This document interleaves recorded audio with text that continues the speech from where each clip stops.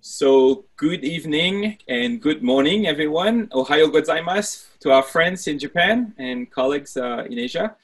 Um, so I'm Yves Tiberghien. I'm a professor of political science here at UBC and the co-director of the Center for Japanese Research, uh, which is under the School of Public Policy and Global Affairs at UBC. Um, I'll start by acknowledging that we are meeting today on the traditional, ancestral, and unceded territory of the Musqueam people. Um, I would like to thank uh, Saya, uh, who is here.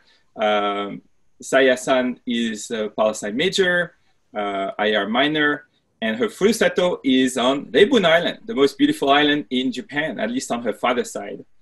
Um, and so Saya has been doing most of the work for this event, but we would also like to thank uh, Tina Alexander, Bianca Trey, uh, and the SPPGA staff uh, for all the support for this event. So welcome to everyone. This is the event on Japan's role in the global order at a pivotal time. We're going to evaluate uh, Prime Minister Abe's legacy, uh, talk about uh, Prime Minister Suga's early steps, and then discuss the post-US election landscape for Japan and for relation between Japan and the world. Uh, this is part of a series. This follows uh, a series of events we did last year on, or earlier this year, on Japan's leadership in the liberal international order.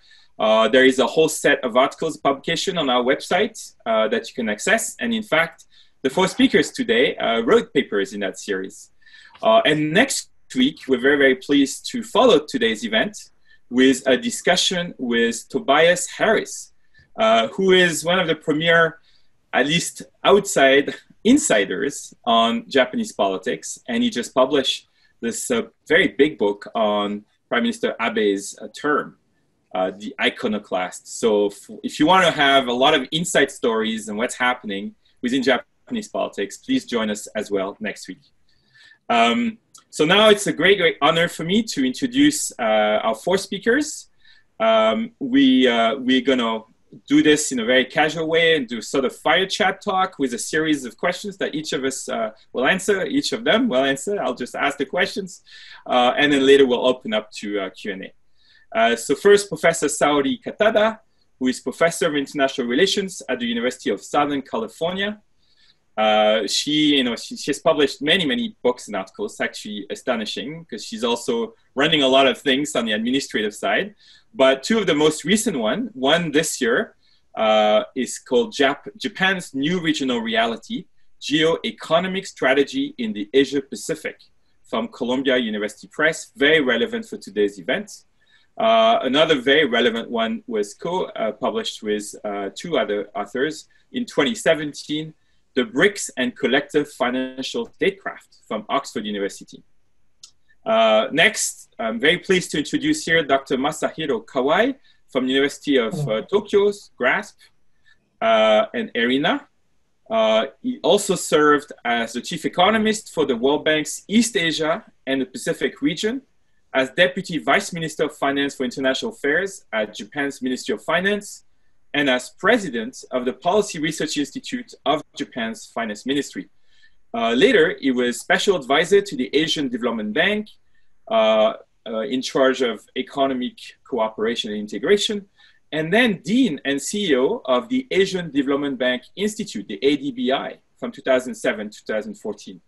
Uh, Dr. Kawai has published many, many papers on issues of geoeconomics and um, um, international affairs in East Asia.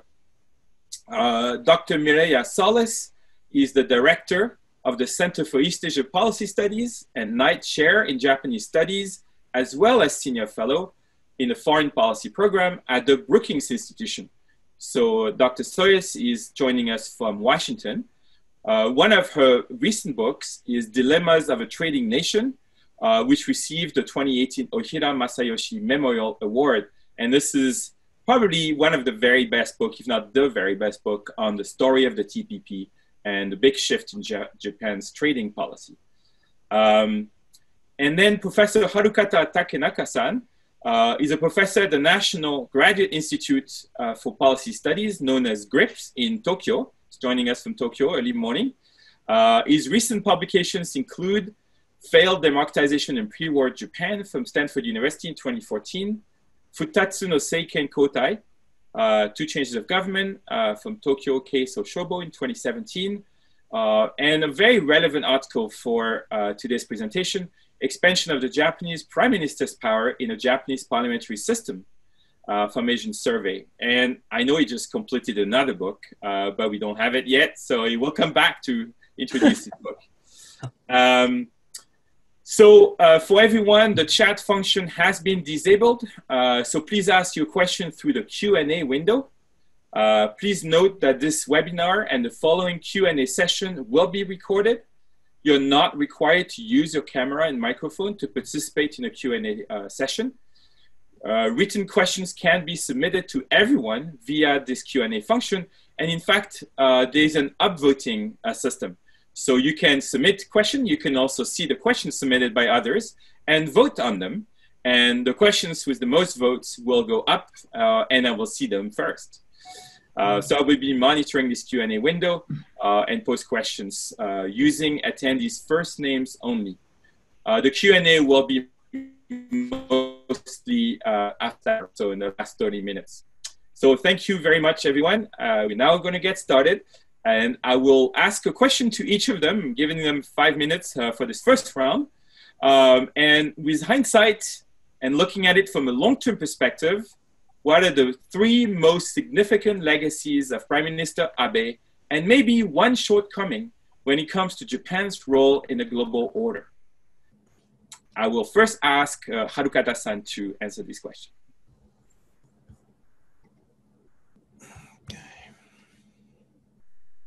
So hold on. Okay. Could uh, I, I hope everyone can see the slide. Yes. And thank you. Uh, okay, great. Thank you very much uh, for having me here um, this evening or this morning. I'd like to begin by thanking uh, Yves for organizing this webinar and having me today. And it's nice to uh, see uh, my old friends Saori-san and uh, Mireya-san and Masahiro-san uh, on the on this webinar.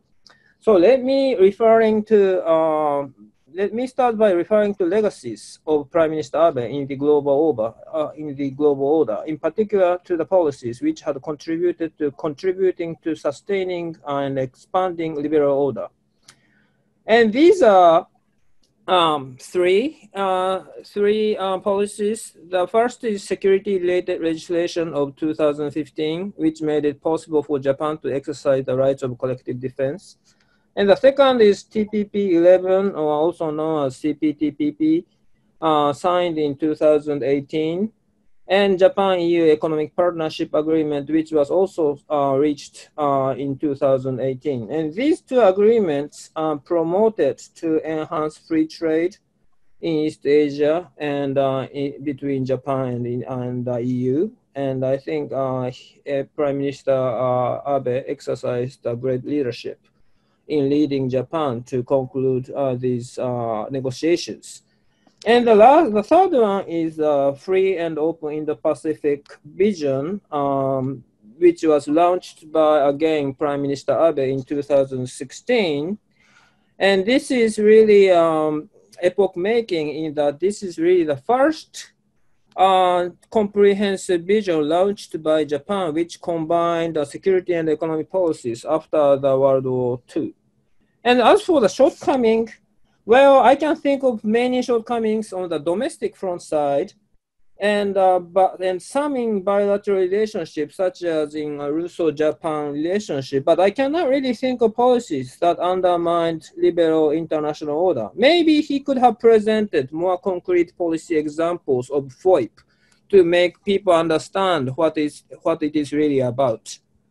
And um, I just would like to emphasize that uh, Prime Minister Abe could implement these policies because of institutional changes in Japanese political system uh, since 1990s.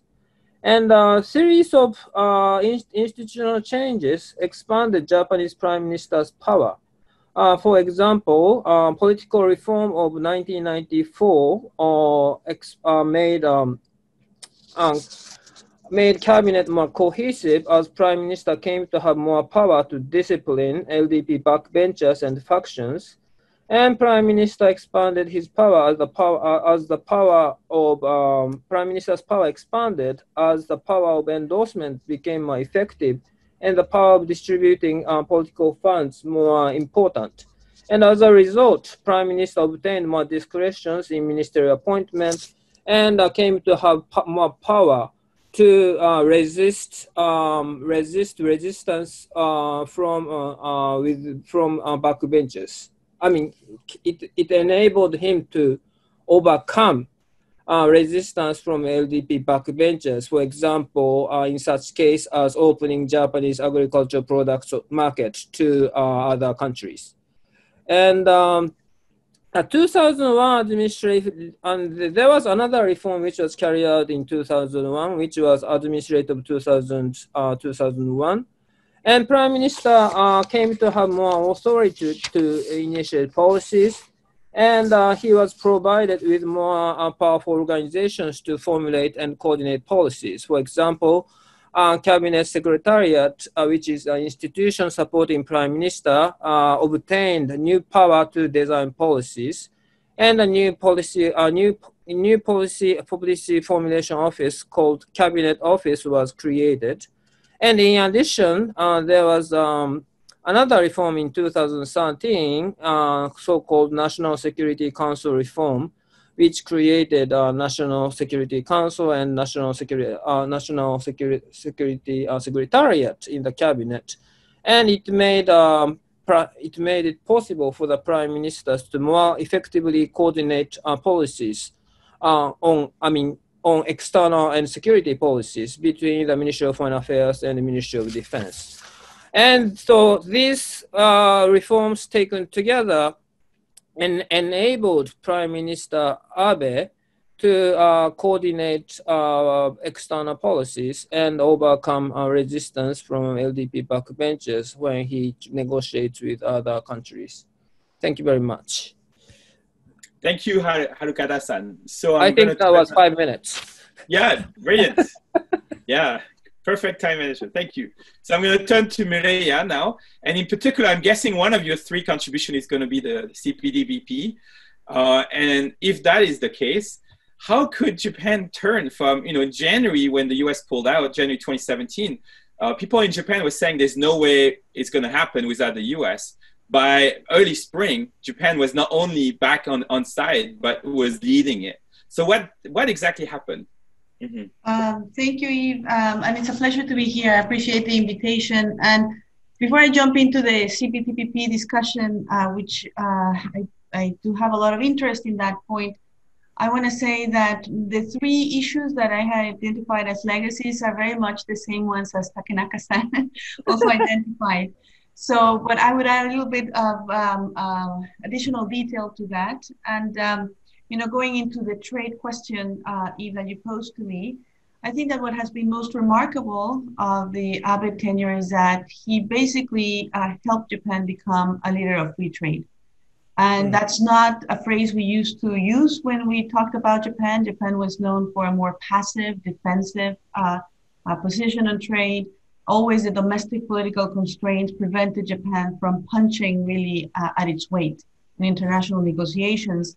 As Takenaka-san reminded us, uh, he was able to do this because he was building upon a series of uh, domestic changes that strengthened the office of the prime minister, and he took advantage of that and he pushed that further so that the prime minister's office really became a control tower.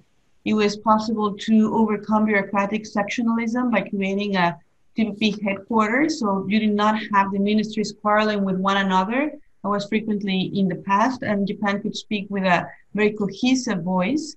I think that Japan continued to uh, surprise many um, of its counterparts in the TPP negotiations, even the original ones.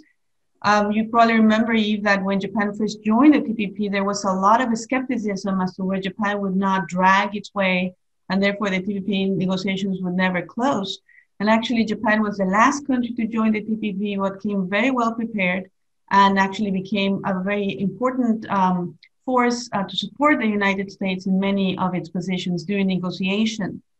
Um, and one last point on the domestic political constraints, I think it's important to know that it was Prime Minister Abe who was able to overcome the resistance of the agricultural lobby, which in many ways had a veto power until then, preventing negotiations, really ambitious negotiations with large scale agricultural exporters. And uh, therefore, was important to find um, a, a, compromise. It was not just uh, all out reform. Some of the most important sensitive items for agriculture were not subject to liberalization, the so called five sacred commodities. But nevertheless, Japan could join the big leagues of trade negotiations. And I think Japan has not looked back since. As you mentioned, uh, when the United States withdrew from the uh, original TPP, this was a huge setback uh, for Prime Minister Abe because TPP had importance not only in terms of lending credibility to its economic reform program, but also because of its foreign policy and the desire to um, work together with the United States, anchor the United States to the region in uh, light of a more powerful uh, China. And I think, therefore, it, was a huge setback for Japan. Um, I remember that a lot of people said, this is dead, uh, the TPP will not move forward. Um, but I think it was a moment in time, actually, that I think you have described in some writers of your own, and maybe for the paper for this uh, workshop we had earlier this year. There was, a, I think, a moment um, when things look very fluid. It could have gone either way. But I think that uh, the calculation was made that if you wanted to eventually go to a TPP 12 again with the United States on board, the agreement needed to survive. And uh, Japanese uh, leaders came to Washington. They also wanted to make sure that moving forward with the politicians came to Washington, that moving forward with the TPP would not alienate the United States. And I think that they felt reassured that it would not create uh, friction in the bilateral relationship and Japan being the largest remaining uh, economy in the CPTPP was essential for this to work. And let me just add that they, uh, the remaining 11 countries, I think, took a very wise approach to the renegotiation. They decided to leave intact the tariff schedules because had they tried to rebalance the agreement that way, I think it could have become very unwieldy and the agreement might have floundered. And then what they did is that they uh, took a surgical approach, suspended some of the uh, TPP provisions, especially in the intellectual property chapter, that mostly the Americans uh, cared about on questions, uh, issues like biologics, and that it made it much more palatable to the remaining 11 countries. And the calculus was right, that by making the TPP survive, that created pressure on the United States to reconsider. Now, the domestic politics of trade in this country are very, very complex, and I'm sure we can get into that. Um, but nevertheless, it did uh, work as it was supposed uh, to work. Um, in closing, uh, you know, uh, let me just uh, mention one of the shortcomings um, because I want to, um, you know, keep my my initial intervention short. Um, I think that because we have come to expect so much of Japan as a champion of uh, trade liberalization, I think that for me, what was striking is that when COVID 19 uh, hit, and we began to see very quickly the proliferation of export protectionism on medical supplies, on personal protective equipment, that uh, some countries began to articulate very forcefully that we should not resort to export protectionism. And I was hoping that Japan would be playing a more uh, of a leading role in that effort. And I think that Japan now is doing that, but it took a while. So that's one item. And the second one, again, picking up on Takenaka-san's focus on bilateral issues, the bilateral agreement with the United States is not stellar. It was pragmatically done. It was a, an exercise in damage control, but it's a very narrow market access agreement that because it did not cover automobiles or rice is not WTO consistent. So that I think is uh, um, problematic from a point of view of Japan being a champion of high quality uh, trade agreements. But when your security guarantor comes knocking and cares only about trade deficits, that certainly puts you in a tight spot. Wonderful. Thank you, Mireya. That's, uh, those are great comments. So I'm going to turn to Masahiro now. Do you have the same uh, kind of list?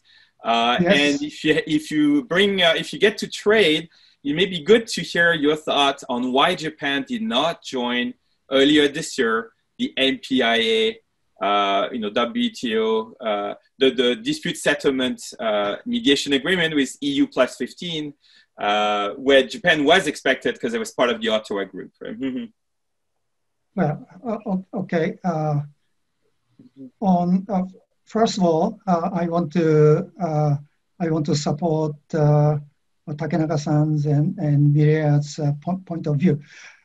Uh, I think the biggest uh, contribution that uh, the Abe admi administration has done, uh, uh, did, was to fill the gap or void left by the United States when the US Trump admi administration retreated from free trade, globalization, and multilateralism.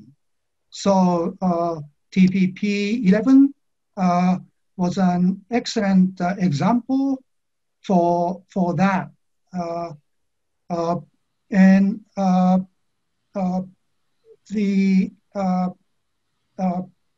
also Japan has been working with another big player, the European Union, which has been also championing multilateralism. Uh, Japan and, and EU came up with uh, the economic partnership agreement and also strategic partnership agreement. Uh, they came up with a joint statement on connectivity, sustainable connectivity and quality infrastructure uh, to respond to China's uh, Belt and Road Initiative. And uh, uh so, uh, so Japan uh, took leadership among other TPP member countries and, and also worked with the EU. Um, FOIP, I, I, I fully agree, FOIP is a very important uh, initiative, and hopefully uh, this would uh, continue to be as significant as in the case of uh, uh, Abe administration under the Suga administration. Uh, Japan's contribution to the G20 process was also quite significant. Uh, the G20 principles for quality infrastructure investment and also uh, data free flow uh, with, uh, with trust uh, among, among others. Um, on the issue Yves just, just mentioned, Japan clearly wants to see a functioning WTO uh, to be restored. There's no question about that. But uh, Japan has had uh, some concerns uh, about the WTO process towards uh, the uh, dispute settlement process also, not to the extent of the United States, but quite similar to the United States, the concerns was similar to the United States. So I think uh, Japan wants to see a kind of reformed uh, dispute settlement system uh, to be in place rather than just simply to restore the existing one. Uh, I'm not sure how uh, the Suga administration is going to approach the WTO problem, but uh, the US concern about the dispute settlement uh, uh, issue uh, has been a long-standing issue, not, not simply the Trump administration's issue. So there is a structural problem with uh, the dispute settlement uh, system. So, so perhaps uh, Japan and, and the new US administration, Suga, and, and Biden uh, may work on this uh, issue together. Uh, the shortcoming of the Abe administration is was the lack of its policy towards climate change. the Abe administration uh, was very reluctant to go very aggressively uh, forward uh, on climate uh, change issues. Uh, but uh, fortunately, under uh, Suga, this has been reversed. So, so the new Suga administration's view of achieving carbon neutrality by 2050 by achieving uh, uh, zero greenhouse gas emission by 2050, I, I think uh, that's going to, uh, to kind of complement uh, or, or, to negate the shortcoming of uh, the Abe administration. why don't I just stop here now? Yeah, excellent. Thank you very much. so now I'm turning to Saori you we can uh, wrap up all this. Do you do you have the yeah. same kind of list of uh, and, and, what are your thoughts? I, well, so first of all, I thank Yves and everyone for inviting me. I, it's an honor to be part of this uh, member of the panelists. Um, I really enjoy uh, discussing everything with uh, all of you, and thank you for the audience. So yes, I have basically the same list, but maybe put it in a kind of a more kind of a, a, a abstract or macro level. I think three achievement. One of which is for Abe is that he stayed in the office for a long time. I think it's been very important for Japanese prime minister to be able to stay on the, in the office so that it can create network, personal connections, and so on and so forth uh, related to uh, Japan's uh, foreign economic policy. And you know, in you know, in many ways, Japan, uh, Abe managed his relationship with uh, both President Obama and President Trump quite effectively, having in, you know, being in the office more than the American president, which is very rare. So I think that's one of the uh, main achievement. The second one is, you know, definitely that, you know, Prime Minister Abe managed to put Japan on the map. And you know, uh, Kawai Sensei already talked about G20, where you know Japan made a lot of uh, you know very important um, kind of uh, you know, agreement and, and principles and, and so on.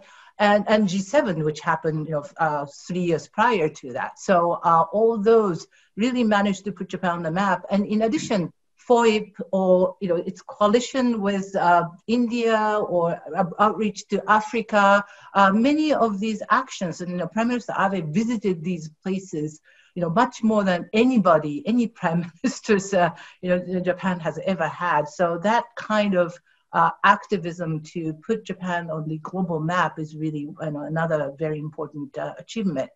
And finally, you know, obviously everybody talked about the liberal international economic order, TPP, CP, uh, CPTPP, and, and you know, EU, EPA. Also, RCEP is really, you know, even though the agreement came after Abe stepped down, but obviously all these negotiations happened uh, under his watch. And I think that should be considered as a really a major achievement.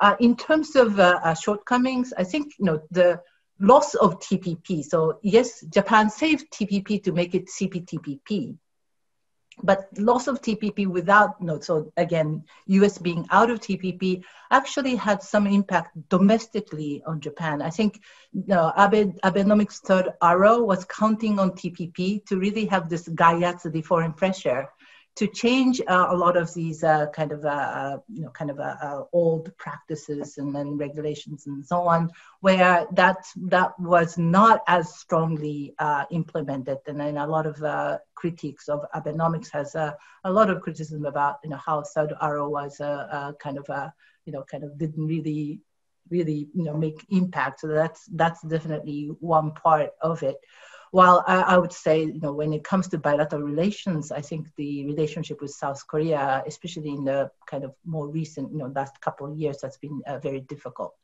So I'll stop here. Wonderful. Thank you very much. So we're going to follow up with one more point on Abe before we turn to Suga, uh, and it's to zero down a little bit on the relation with China.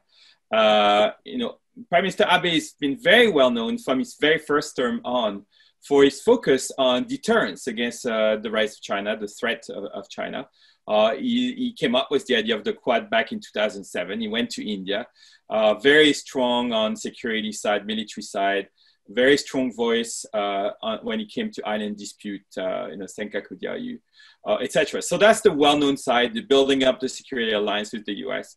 and yet, at the same time, we uh, over the last two three years we have had remarkable stability in the at least economic and geopolitical relation with China. uh, to the point that when Abe stepped down, uh, the spokesperson of the Chinese Foreign Ministry praised Abe for good contribution to the bilateral relationship and all kind of success with the G20 and the like.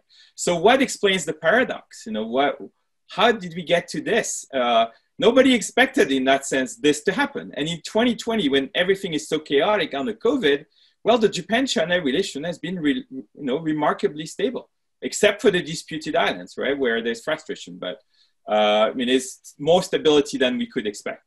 Uh, so maybe I'll turn first to uh, uh to Kawai Sensei, and then uh, take different order. okay. okay. Okay. Thank you very much. Uh, yeah. so Uh, Japan uh, uh, tried to restore economic and political relationship with China in 2017. Japan, uh, Mr. Abe sent uh, its uh, delegation to the first forum on international cooperation for the Belt and Road Initiative in Beijing. And then immediately after that, Mr. Abe said that he would support the BRI uh, uh, with some conditions like openness, transparency, debt sustainability, and so forth. And then uh, the two countries started to talk about uh, joint uh, uh projects in third countries uh, with, uh, with conditions, openness, transparency, economic feasibility, debt sustainability.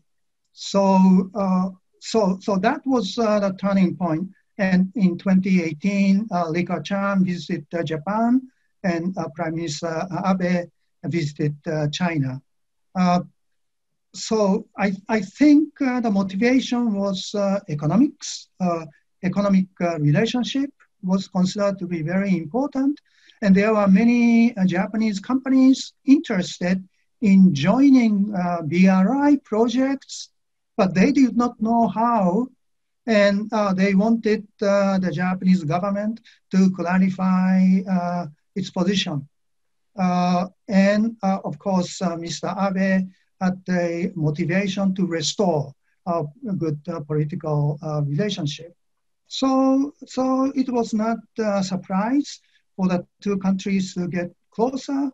Uh, after all, economic interdependence is very strong between the two countries. Many Japanese companies are doing business in China, uh, and uh, during uh, this COVID-19 uh, period, uh, Japan has been importing a lot of uh, medical medical you know supplies, PCs, you know for remote remote work. Um, however, uh, the two countries, uh, uh, in particular Japanese perceptions towards China have not improved.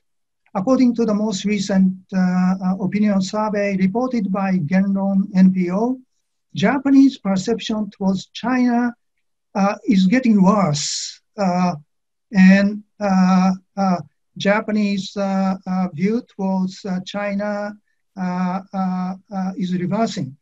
Uh, uh, even though Chinese perception towards Japan has been improving.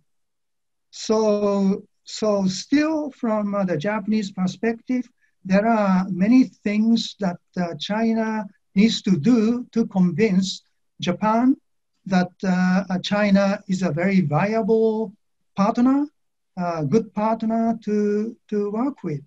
But after all, economics has, has made a turnaround. Mm. Thank you. Thank you, Masahiro-san. So maybe I'll turn to Saori. Saori-san, what do you think about this China question? Mm-hmm. So, you know, Japan has been working with China, you know, kind of working with this very um, difficult relationship with China for a long time. And, you know, J- Japan is China's neighbor. Its interdependence is very high, as Kawai sensei has already mentioned. So I think it's natural that it kind of swings, you know, different ways. But obviously, the election of President Trump and the way that you know, Trump has dealt with China really affected China, no, not only Japan's uh, relationship with China, but the other way around, the China's relationship or perception or strategy toward Japan. So I think the uh, overall uh, rapprochement with uh, China and Japan, in some ways, of tw- no, 2017 is you know is partly triggered by the U.S. position towards China and how Japan, uh, China reacted to it and how Japan responded to that.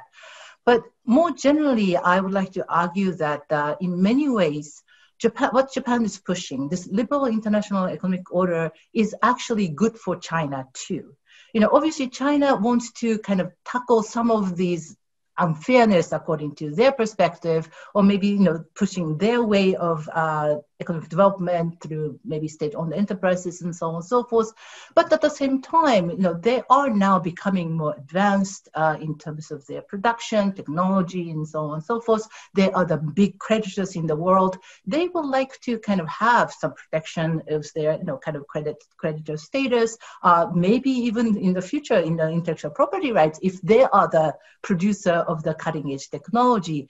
So altogether now China's kind of looking at, let's say RCEP even, even though it's not as high standard as it is, you know, as CPTPP or, TPP, while, you know, many of the kind of protection, investment protection and so on in place. So in, in some ways, maybe that's kind of a, a you know, wishful thinking maybe, but it's a realization on the part of China that this order could be beneficial to them. And they are now working, you know, to, in some cases, working with Japan to uh, set this uh, regional order, economic order in place. Can I uh, uh, just just make a very brief uh, comment? I fully support with uh, uh, Saori. Japan's contribution is to convince China to to adopt international standards, international rules. Uh, in uh, 19, uh, sorry, in 2019, in the second uh, international forum on the BRI, uh, President Xi Jinping made a statement to the effect that uh, the country, China, would respect openness, transparency, debt sustainability, and so forth for the BRI and uh, uh, he uh, made a statement that the BRI should be a, a high quality, high quality project. Uh, and, and that eventually led to his acceptance of the G20 principles uh, uh, for quality infrastructure investment. So, so at least he said that, and at least China expressed its intention to pursue high quality BRI. Perhaps uh, Japan has been successful in convincing China to say that, uh, although you know we have yet to see if uh, the BRI would really become high quality and that sustainability issue would be respected. Uh, uh, still, uh, China made made a commitment, which is which is good. Great, thank thank you. So Harukata-san, what's your view on this China-Japan paradox under Abe? well, I think Prime Minister Abe was very, he's a realist. And um, Japan made a very pragmatic uh, response to China. And um, it is allegedly said that Secretary General uh, Nikai-san said that we have to confront with China anyways, but there's no need to have open confrontation with China. Okay, that's what he said. So we, we um, if BRI contributes to development of other countries, there's nothing Japan goes against. And also there's other strategic reasons. We do we, we want to I mean I think Japan wants to make um, wants to um, wants to make uh, China not oppose uh, FOIP. And uh, so the Japanese government has been saying that uh, we welcome, Japan welcomes China's participation in FOIP. We can do some joint project in FOIP. So I think this reflects economic reality that as, as uh, Saori-san and um, Masahiro-san has have just said, uh, we have so much interdependence between China and uh, Japan, and I think economically speaking, the two economies are inseparable. So I think we have to um, have a good relationship uh, with China on economic front. So I think that's this reality uh, was reflected in Prime Minister Abe's response to uh, China. That's my take. Excellent, very wise. And so, Mireya, you get to conclude this.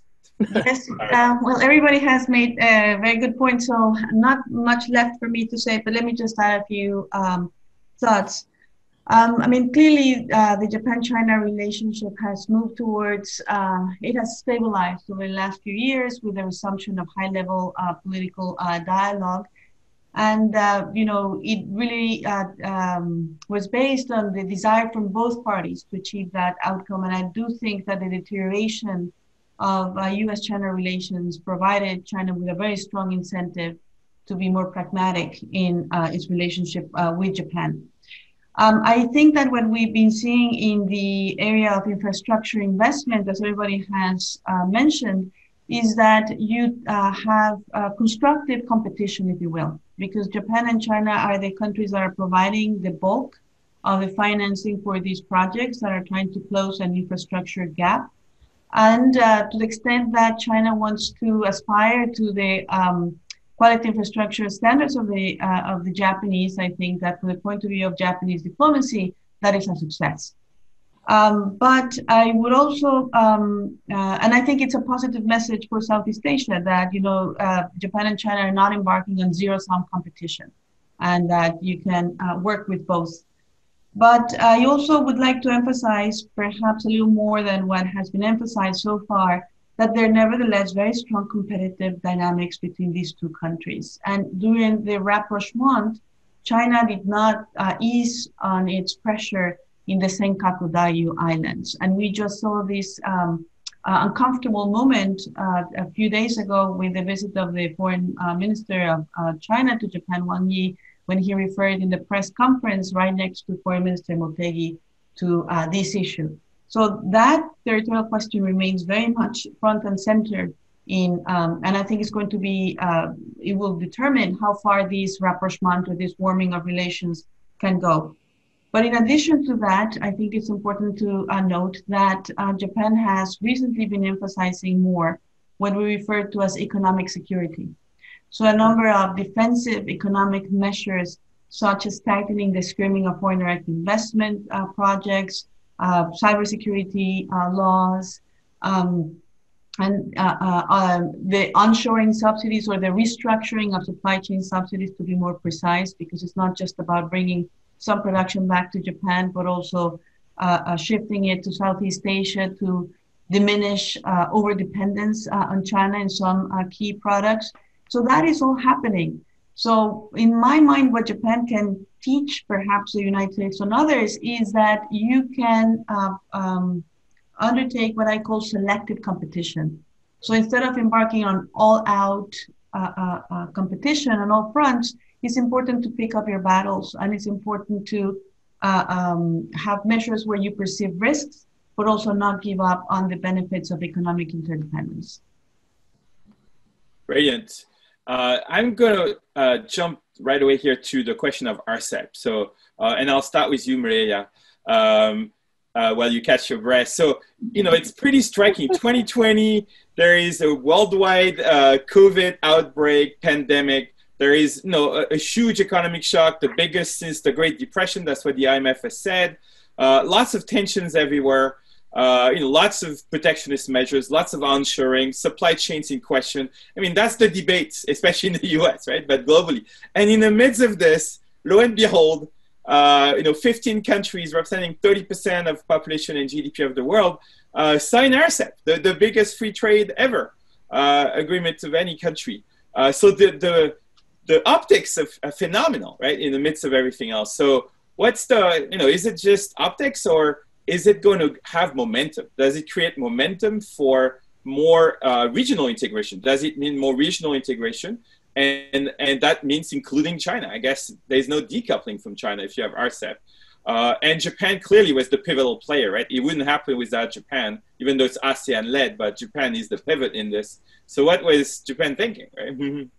Um, thank you, Yves. I mean, I think it definitely goes beyond optics. And I think that the timing of this agreement is very important because we are uh, going through a moment of increasing protectionism. Uh, even before COVID, we had already China and the United States embarking in a heated uh, tariff war. And uh, we had all kinds of other forms of protectionism proliferating. And then, of course, with COVID, uh, the, the um, tendencies only increase. So I think it's very encouraging to see 15 uh, countries in this region uh, make a bet on rules-based uh, economic integration. And given that you know you're talking about 30% of world GDP, it matters. Um, I also think that what's most significant about RCEP is that it's going to um, nurture uh, global supply chains, global supply chains that are increasingly um, under scrutiny we, uh, I mentioned uh, a while ago the reshoring subsidies that some countries are considering. So, to the extent that you have lenient rules of origin that allow companies in these 15 countries to meet the criteria to benefit from the tariff preferences easily, that's going to encourage uh, further cross border investment, further cross border um, uh, trade activities. And I think that's all very uh, positive. Um, also very positive, uh, Saori alluded to the very complex relationship between Japan and South Korea. Well, this marks the first time that these two countries, as part of this larger grouping, are going to be trading on preferential uh, terms. Uh, for Japan, I think that the biggest loss along the way was the exit of India. And Japan had been very adamant and very interested in having India uh, stay on as, you know, as a, as as a fellow democracy, as a very large market, in trying to also promote some liberalization. For India, the bar proved uh, too high. Um, and they were uh, primarily concerned with the trade uh, balance vis-a-vis uh, China. Now, RCEP, I, uh, I don't think the right way to think about it is necessarily to compare it to CPTPP because they're very different uh, um, exercises in terms of the scope of the rules. There's not going to be anything on state-owned enterprises uh, the um, provisions, and I haven't read the entirety of the agreement because it's very long, but the provisions on data flows, there as the possibility to invoke uh, national security exemptions to get uh, to uh, not really abide by them. So uh, it's not going to be as ambitious as TPP on the rules part of it, but nevertheless, it is um, a very substantial agreement that could, in over time, evolve and produce even further liberalization and my last point, Yves, is that what this really uh, brings, hammers the point is that the United States is looking from the outside in. You have now two large mega trade agreements in the region. And even though the United States could not really or would not necessarily be interested in RCEP because uh, of the standards issue that I just mentioned, nevertheless, the fact is that intra regional integration is proceeding and it has foreign policy considerations and the United States has not yet found the way to have a very compelling uh, uh, strategy of economic engagement with the region. And it's very important, I think, for the Biden administration to uh, uh devise a strategy to do so. Um, Saori, what do you think about RCEP? I have nothing to add. Mire, Mire is be short. yeah, but I, I, I, do feel that no, this is the, the this is what Japan wanted uh, way back, you know, almost 15 years ago.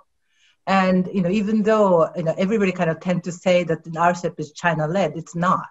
It's ASEAN-led, and Japan's the major player in it. But at the same time, I think the U.S.-China uh, trade war really made China more and more interested in RCEP, one. And two, I think the COVID kind of push was a tailwind too, in the sense that, you know, kind of uh, other countries kind of thinking about other the alternative supply chains uh, you know, kind of worried too much, worried about too much dependence on, on China's production, kind of pushed China to really see this is really important uh, kind of component. And you know, uh, and also again, kind of uh, achievement on the part of Japan is that having CPTPP come into effect and and you know Japan EU uh, prior to this really uh, provided a, a good leverage on the part of Japanese government to negotiate this uh, effectively. Obviously, the rules are much, you know, kind of shallower, and also the the tariff uh, liberation liberalization kind of period is much longer. But altogether, I think it's a great achievement, you know, for Japanese companies too. The access to the Chinese market in terms of out parts or batteries, and you know, many of them uh, would have, you know, kind of would be uh, able to go without tariff, uh, you know, pretty pretty soon. So it's a, it's overall a very great achievement, and it put pressure on the U.S. uh, Harukata-san, what do you think? Mm-hmm.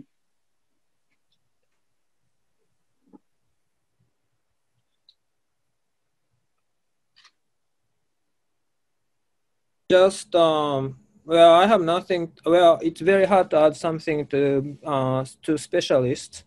So I just made this uh, Suga-san following the lead of Teddy Roosevelt, and um, hold on. So this is what Japan has been doing. I mean, like so much concern about China's influence in RCEP. So just I want to say that Japan has been following the lead of Teddy uh, Roosevelt, he said, "Speak softly and carry a big stick. You will go far." I mean, this is a statement he made in Minneapolis in 1901, and um, so I mean, this is what Suga-san has has done. Like soft talks. I mean, RCEP is a part of soft talks, I think, but it is supported by sticks. So if we look at the chronology, you know, we have been strengthening this uh, Quad, I mean the relationship between the United States, Australia, and India, and I think we are seeing the rise of uh, quadruple entente. I mean, it can never be an alliance given the strategic neutrality which in the India uh, uh, sticks. And uh, we also had a Suga Biden tele summit on November 12th, which confirmed that U- United U.S. Japan Security Treaty applied to Senkaku Islands. And we also had a Japan Australia summit on November 17th, and the Prime Minister uh, of Australia uh, came took the pain of uh, spending two weeks after his visit to Japan to confirm and strengthen security relationship between uh, uh, Japan and Australia. So I mean, um, so this kind of, I mean, this this also expands to uh, the the topic we just covered as regards to uh, Japan-China relationship.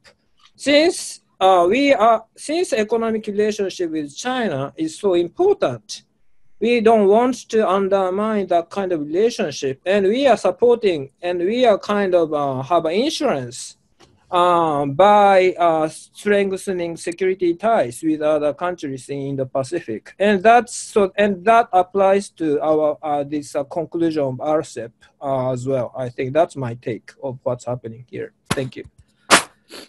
Fascinating, very strategic view, uh, and uh, um, Masahiro.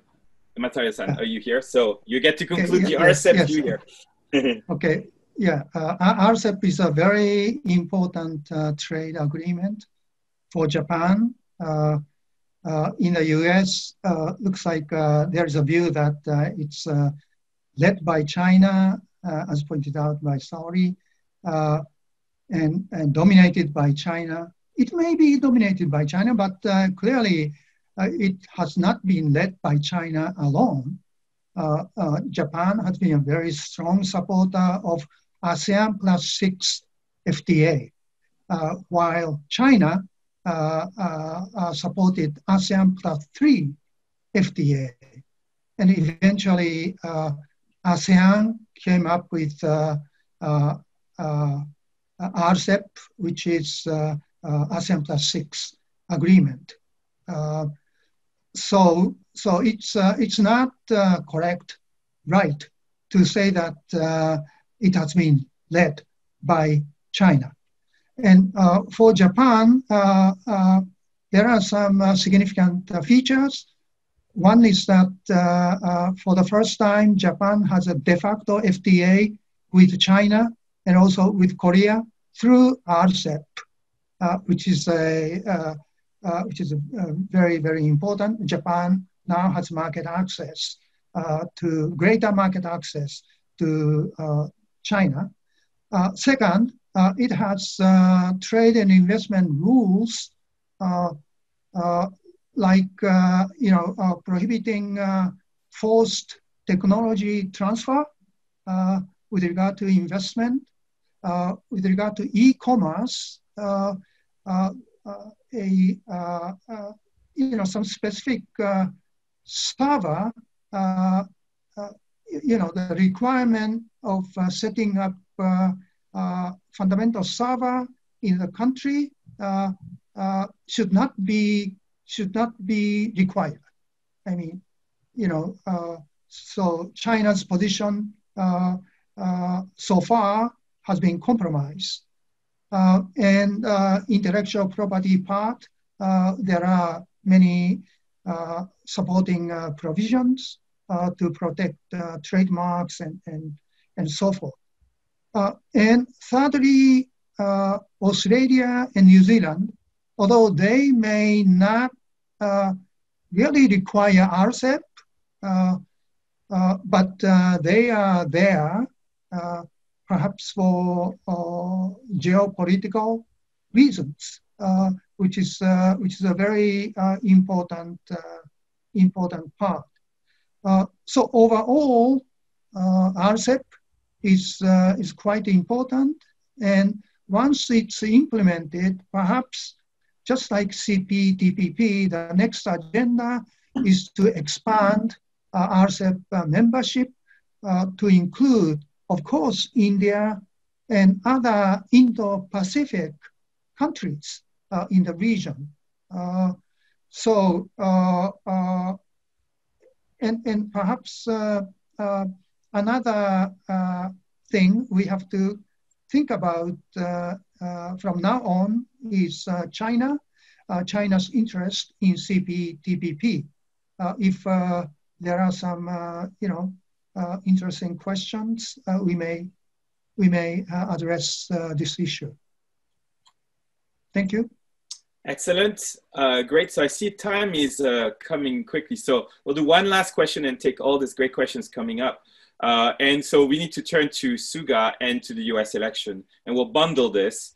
And I'll ask each of you uh, so since September, we have a new Japanese prime minister with new priorities. We heard about climate from Masahiro-san, and then now we have a new incoming uh, U.S. administration. So what are the the you know the two things that you see as most important uh, changing elements uh, with both new leaders? Uh, you know, either coming from Japan or coming from the U.S. or coming from the interactions. what do you see happening? What do you forecast? you know, coming this year? Uh, maybe start with Saori this time. Mm-hmm. Sure. Uh, you know, I don't have a crystal ball, but uh, hopefully, you know, from the Japanese side, I think uh, Prime Minister Suga is set to follow basically the uh, Prime Minister Abe's footsteps moving forward, even though there are a few kind of domestic, really kind of party politics going on, it seems like. So I don't know what the future holds. Uh, but it's important really to keep Japan's position uh, in the liberal international order uh, in place really intact. At the same time, I think the hope is that U.S. will come back and, and the Biden will come back to the multilateral tables uh, and you know both regional and global so that uh, the kind of push towards this uh, kind of maintaining this order will not only fall on the Japanese shoulders. You know, at the same time, there are some whispers in the LDP corridors, maybe that uh, you know Trump's kind of approach to China was beneficial for Japan, but hopefully, uh, you know, kind of multilateral engagement will constrain you know, China well enough that Japan can maneuver, you know, kind of kind of uh, its relationship with China in in this good relationship with China uh, moving forward. Great. So Harukata-san, what do you think? Both what does the Suga administration change and what does the Biden incoming administration change? Mm-hmm. Well, I think Suga Suga Suga-san will probably uh, follow through. I mean, just Saori-san has said, uh, Abe Abe's external policy, and uh, he will continue to uh, formulate various policies under the banner of uh, FOIP. And uh, we welcome. I mean, we expect the United States will be back in Indo in the Pacific or in Asia. And uh, President Trump endorsed uh, the FOIP in 2017 in Hanoi, but nothing substantive came up under Trump administration, and he did not. I mean, we all know this. He did not participate in East Asian Summit, and uh, and so forth. So Biden, uh, I hope President Biden will come up with more concrete policies to um, to, uh, under uh. Although he may not use this terminology, free, free and open, he might say something like prosperous and uh, peaceful in the Pacific or something. But uh, the real the the gist or the the essence of the I mean the Pacific vision would not would not would not I hope it will not change and the United States and Japan can cooperate more uh, in the region and especially in engaging India uh, to the economic and security relationships uh, with uh, Japan and United States and that's that's my hope. Okay, thank you very much. Excellent, uh, Masahiro-san, what do you think? Mm.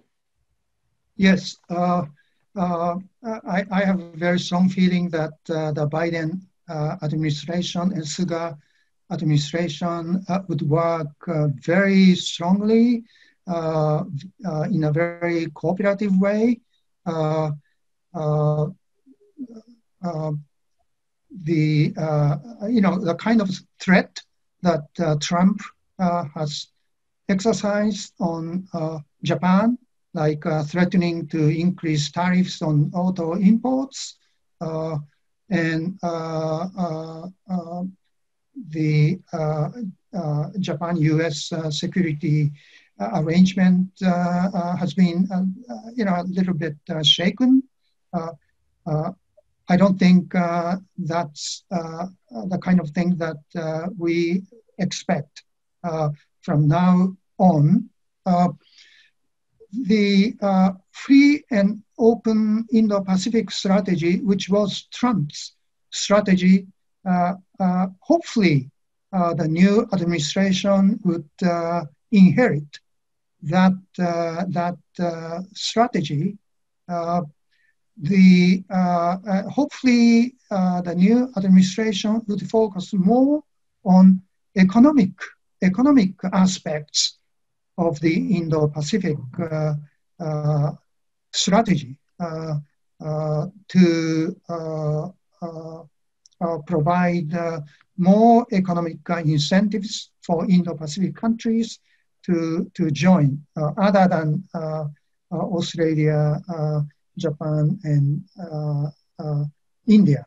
Um, and also on climate uh, change issues, uh, uh, the two countries uh, can work together uh, very closely, and we expect the Trump, the Biden administration to be very aggressive on climate, and the U.S. would become once again the leader in this area, and, and Japan can clearly work together. Uh, and, and, also the Biden administration's intention to work with allies and like-minded countries to consolidate the pressure on China uh, uh, so that China uh, would, uh, uh, would be pressured to change on its domestic uh, economic uh, policy and hopefully uh, the political direction. Uh, there is a lot of uncertainty about uh, this, and also China's uh, behavior in the South China Sea. this is another important issue.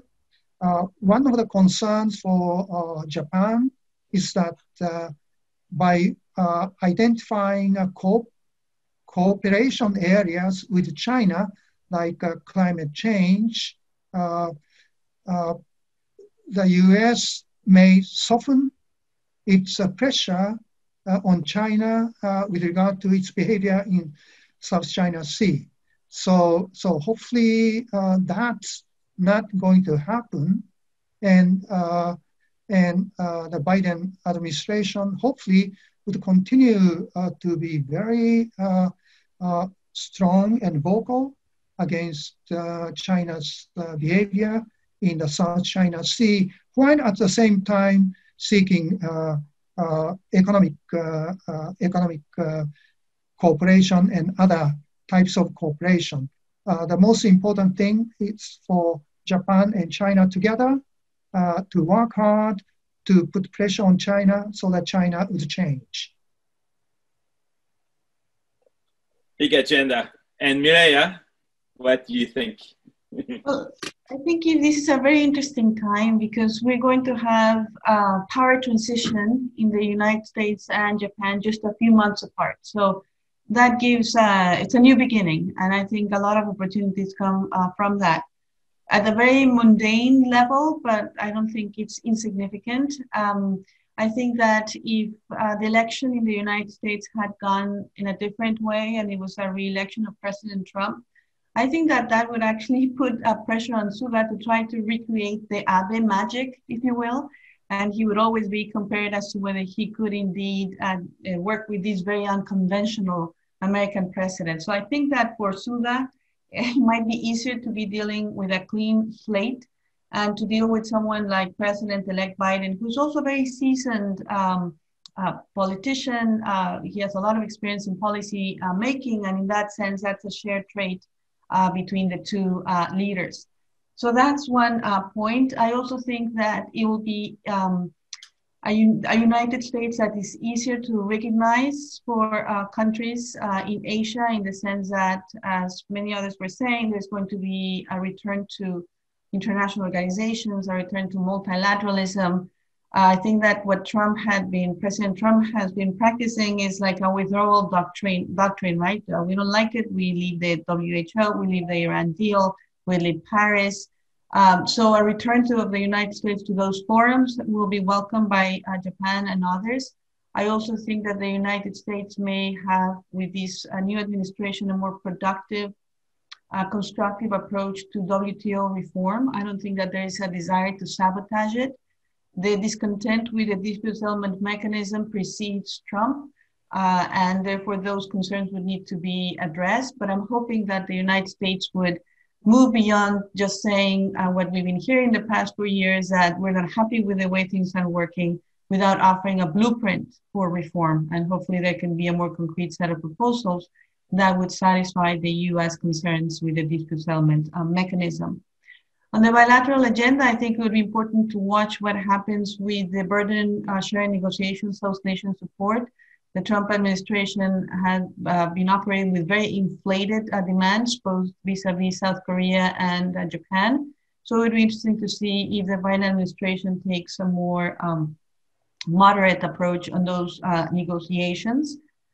Um, then uh, on the uh, Indo-Pacific, um, I think that it's interesting that in the first phone call between uh, Prime Minister Suga and President-elect Biden, uh, that already came up, and there's been a lot of discussion, especially in Japanese circles, about the choice of adjectives, whether instead of free and open, it was secure and prosperous. Does that indicate a shift in policy? My position on that is that I think that there is a wide uh, uh, spread understanding in the United States of the strategic significance of the region. I think that there's no desire to change Indo-PACOM, for example. I think uh, that is the prism through which uh, uh, the United States, regardless of the administration, is going to look at this region. It's the broader uh, geographical area, including India and so forth. Um, and you know, every administration wants to have its own spin. I see that more as nomenclature, but I don't see that as um, a shift in direction. I know that because some of the faces in the Biden administration are familiar from the Obama uh, years, some people might think that this is an Obama 2.0 foreign policy. I think that the world has changed quite a bit in the past few years. I think that the bipartisan consensus in the United States has toughened uh, vis-a-vis uh, China hopefully there's a way to find areas for uh, pragmatic cooperation with China. That doesn't mean that the United States is not going to, again, more assertive in the areas where it considers that its national interests are at stake. So it's that ability to differentiate by issue area, and in particular to coordinate uh, with allies that I think is going to distinguish the Biden administration compared uh, to the Trump administration. And last but not least, um, and this is a real concern, I think, is that you know the United States really is going through a very difficult uh, period. We, we, are not doing well with the pandemic, polarization, partisanship, hyperpartisanship, tears to the social fabric are very apparent. And I think that the concern is that we might be inward uh, looking. Uh, and you know, uh, there's plenty of domestic issues that this administration needs to um, uh, be tackling. The economic crisis, the economic hardship is very real, but obviously Asia is not waiting.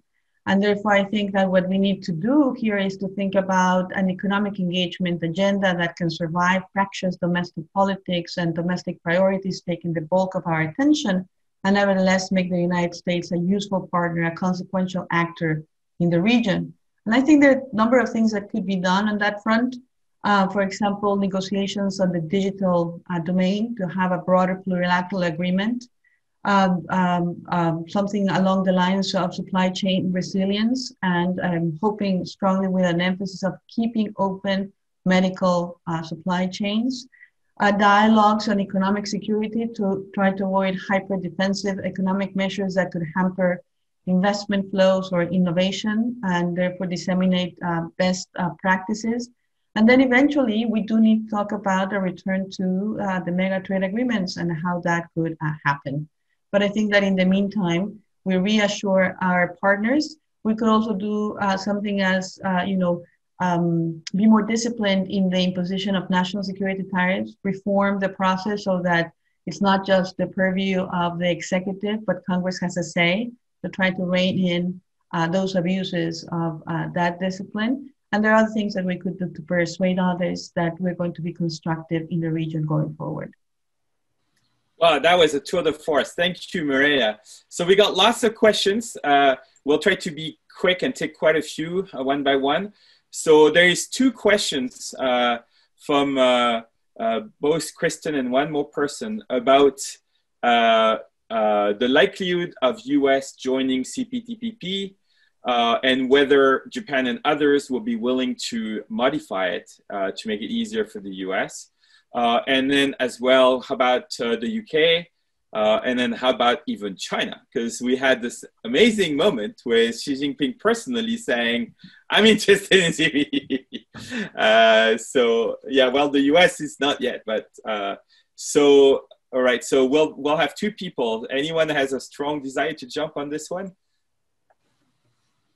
Yeah. Okay, Mireya first, and then one more person after. And, yeah. and Saori has been looking at China and CPTPP, so I'll drag her into uh, this as well.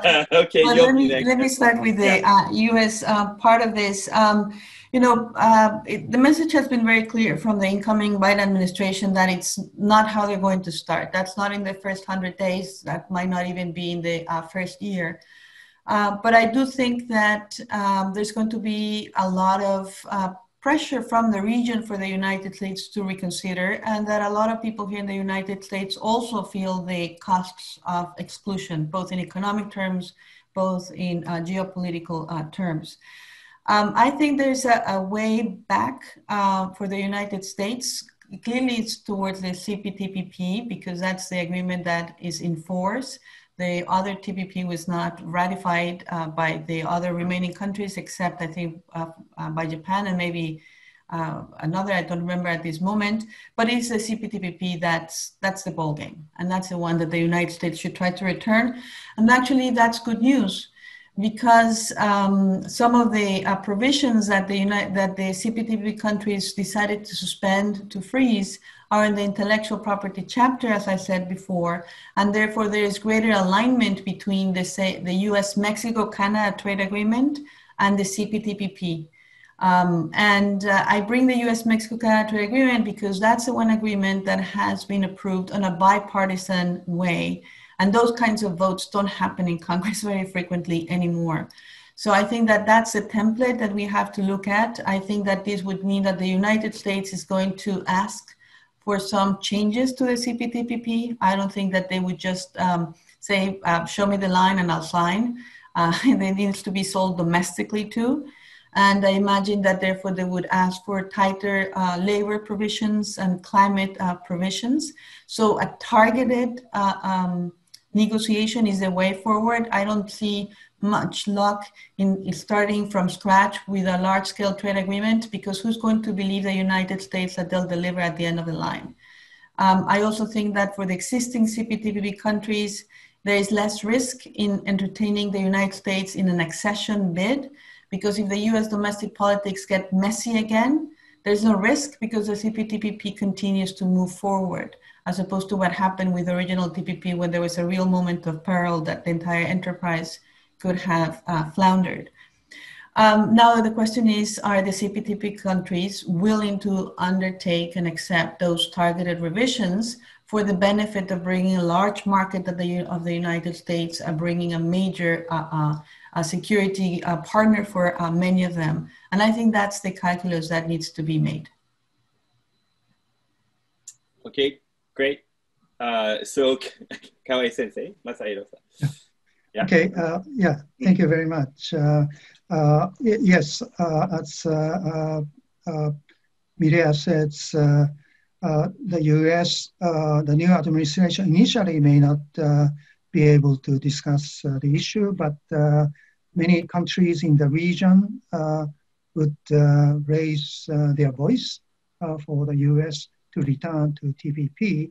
And although Japan may not want to renegotiate but uh, if uh, necessary, I'm sure Japan is willing to, to renegotiate. And renegotiation is much better.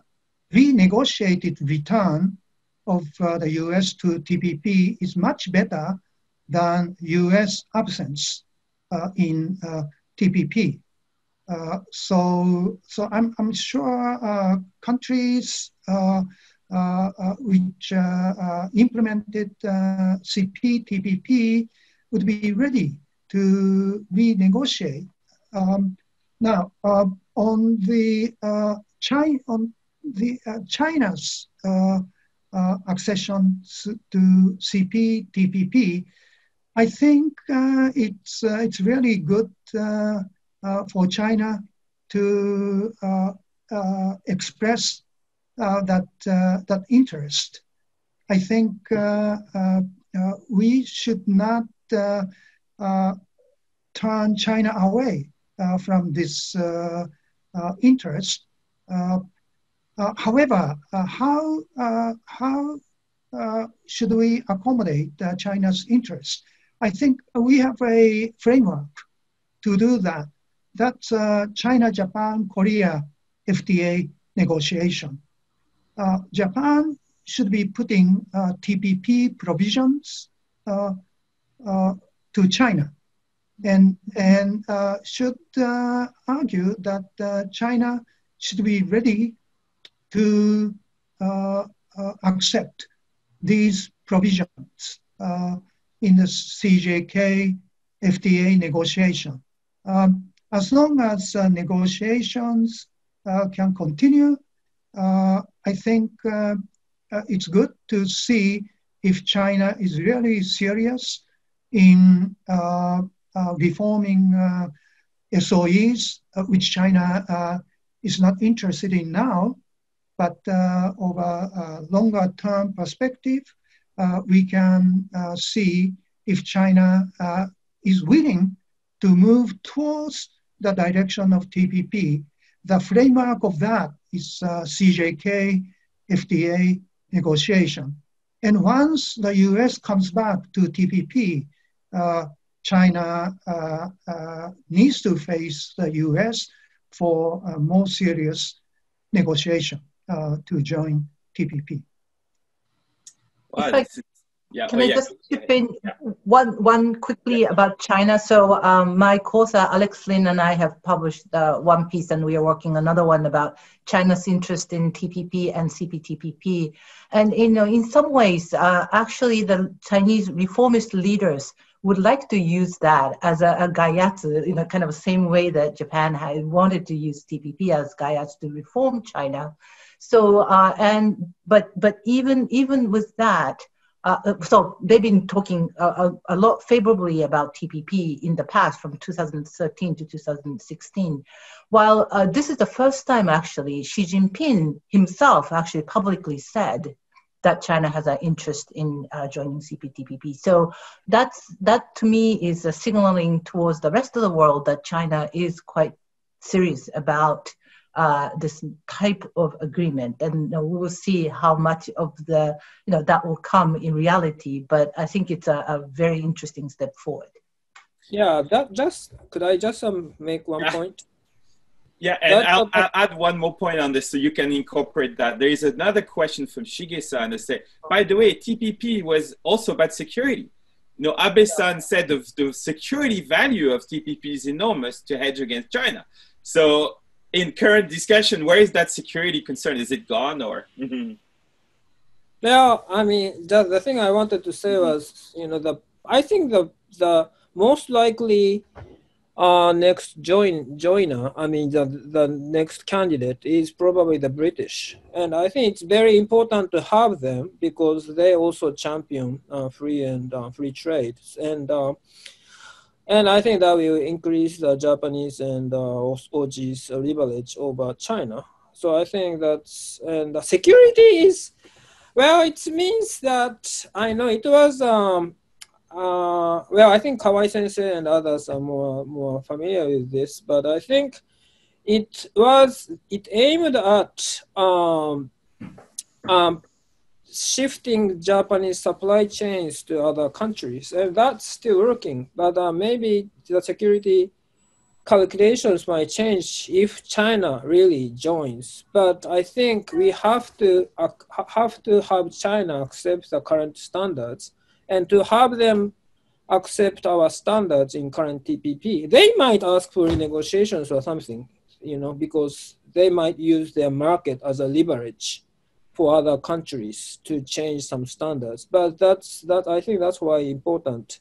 I mean, it's important. It it would be uh, it would be nice if the, we can have the United States first. But since it's unlikely, we are expecting the British to play an important role.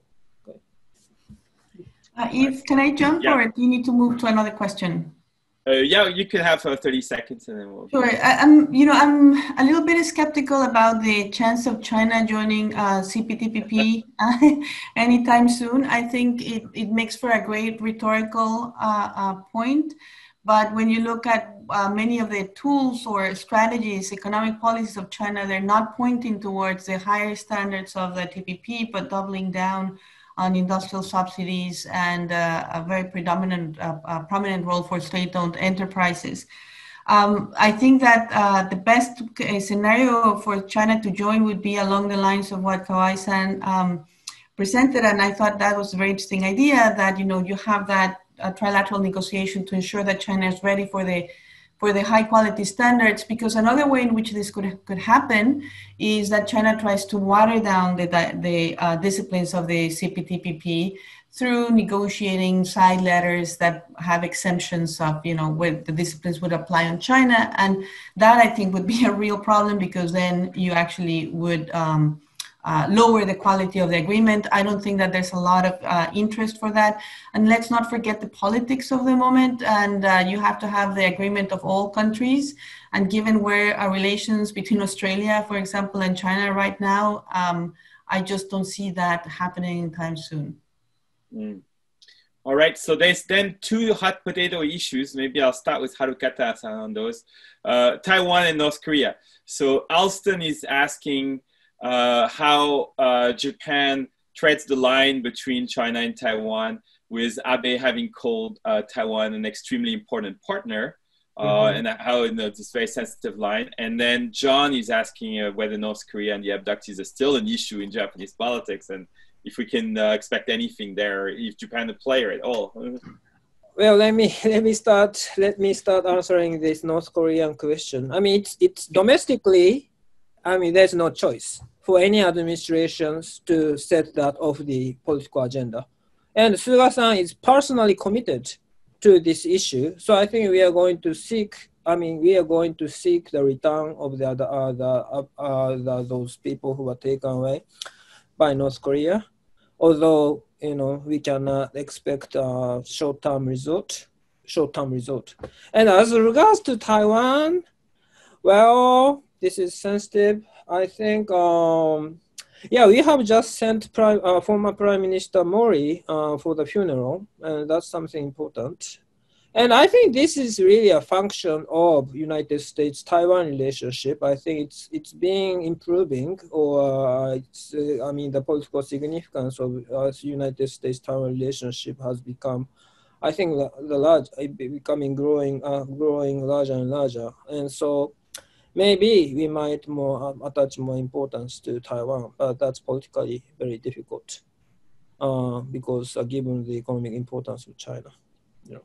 But I think we we we we, we probably have like Taiwan card uh, in our hands uh, to to kind of a bargaining chip with uh, big China. But I don't think we are really going to use it. Fascinating. Uh, Hiroki-san is asking about uh, Suga's nuclear policy uh, as part of the vision for climate change. So maybe since Masahiro-san started about climate, do you want to say something on nuclear? Mm.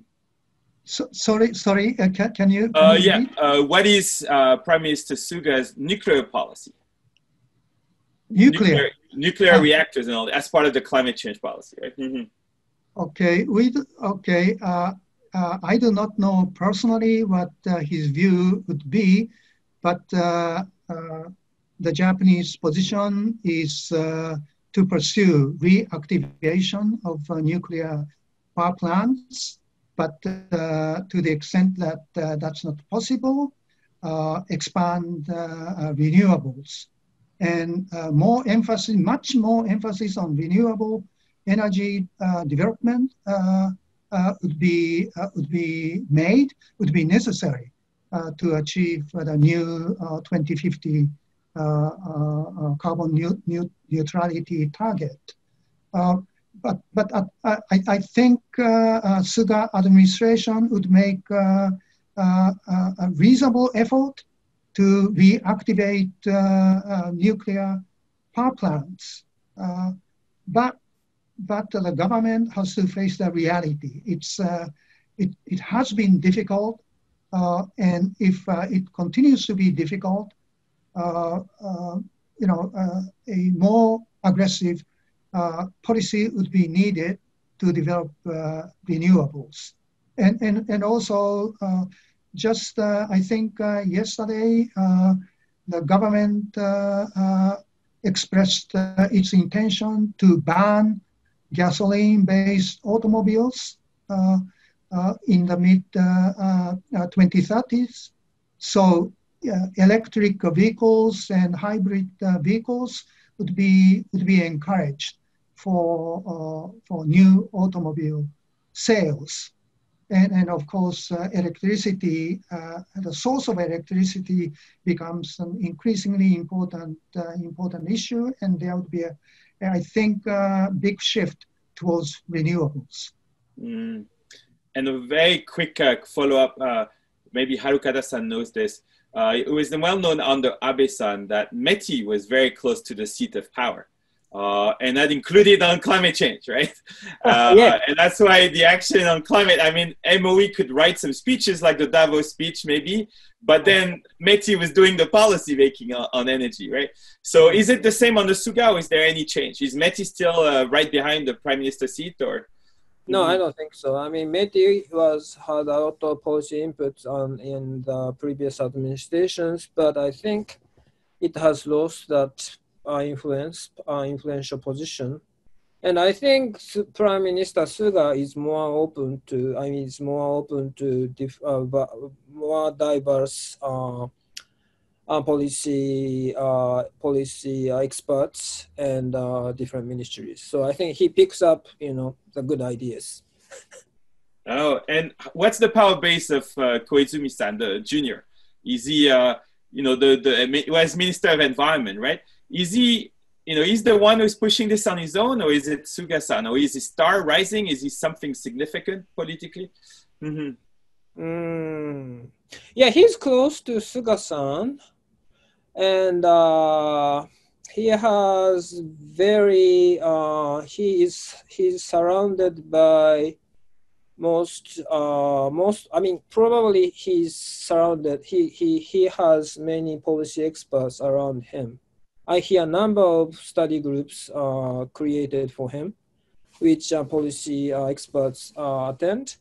So I think he again he picks up you know the policies which he considers uh, which he likes you know at his discretion and um, I think that's how he and uh, Heizo Takenaka must be behind all these uh, new policy initiatives. You know, yes, that's my take. Excellent. So I know we're out of time. Uh, this was uh, an amazing exchange. Uh, thank you so much to the four of you. Those were really fascinating comments, lots of echoes, and uh, look forward to having you back soon on this faraway shore. Um, and so we'll thank also the audience for an amazing uh, time. Um, and uh, we're going to adjourn since time is up. Please take care of yourself in this difficult time and uh, be safe.